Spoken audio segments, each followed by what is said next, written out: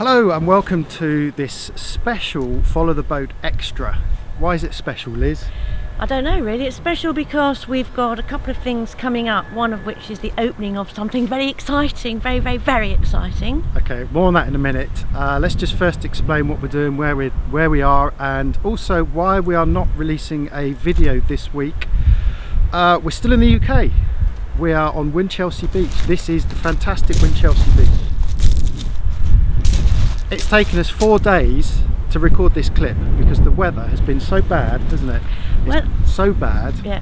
The weather's been really, really bad and it's gorgeous at the moment. That's because you're on that side of the camera looking this way. But if you could see what we could see right now, it's not so nice. But here we are, we've, we've gathered a moment to uh, talk to you. Yes. So we're giving ourselves a break. Uh, I'll be returning to Thailand very soon, which means the uh, videos will start once more. So we're just having a little break. Yeah. But to make up for that, we have something rather exciting and special to open up.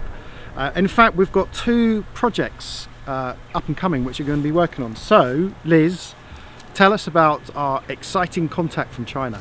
Yeah, we were contacted um, by China to see if we would like to be involved in testing um, a very new product that they've put together. And we were absolutely delighted, flabbergasted, and amazed and happy to say to say yes to that project. And uh, it's all about making the videos better.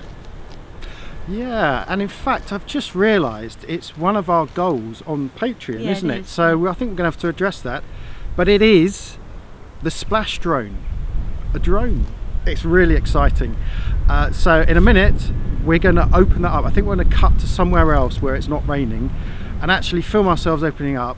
And as Liz says, this is going to be an ongoing project uh, documenting our experience of the splash drone, which will hopefully uh, massively improve our coverage of what we're doing, um, provide a little bit of fun as well, and also feedback to you our experiences of the splash drone. Yeah, it launches from the water and it can go into the water, so it's really for our market. It's for the sailing and water sport market. So uh, we're going to have a lot of fun, we hope, testing it and sharing our tests with everybody on our YouTube channel.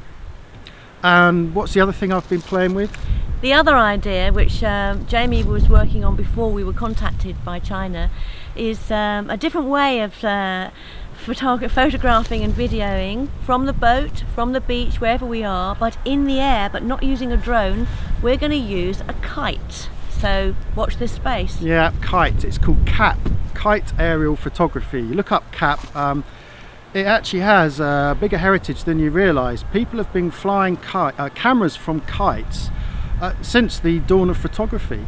Uh, it has a very long, rich uh, history of kite aerial photography.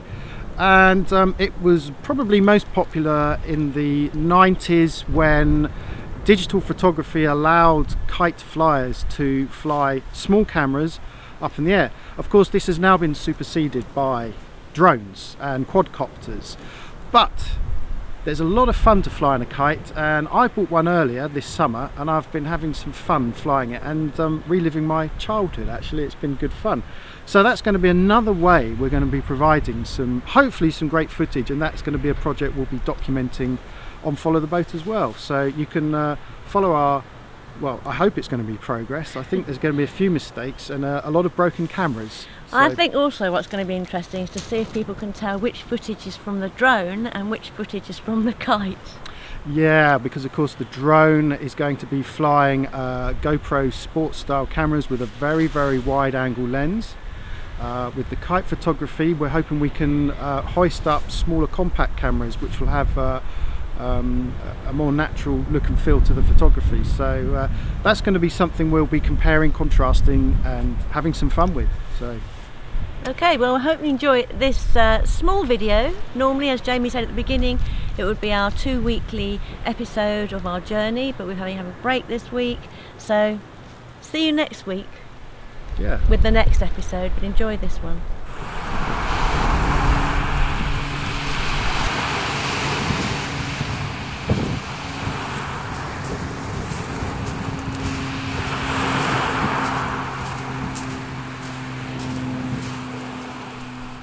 grand opening.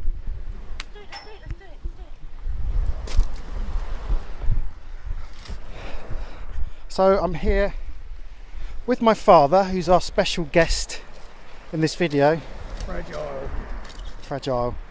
Uh, the reason why I've got Dad involved here is that I thought perhaps he could give us a little bit of a background on how we got into sailing because those of you who follow us and follow the boat will know that Liz and I got into sailing quite late and it was because of this man Dad, how did we get into sailing?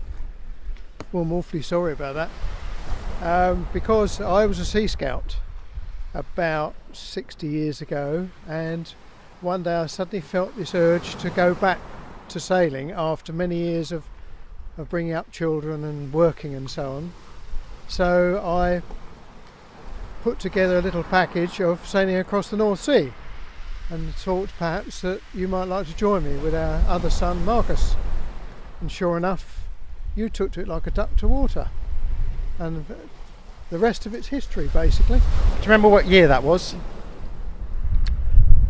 2003, 2000, no, 2002, I think. I think That's right. Yes. Yeah, well, come on, keep going. Let's go, Come on, let's come on, don't keep everyone waiting. Liz, uh, you can take over with the running commentary. I want to see what's in the box. I want to see what's. Oh, look, it's a case. It comes in its own case. How smashing. Pull it out, pull it out. Show the people.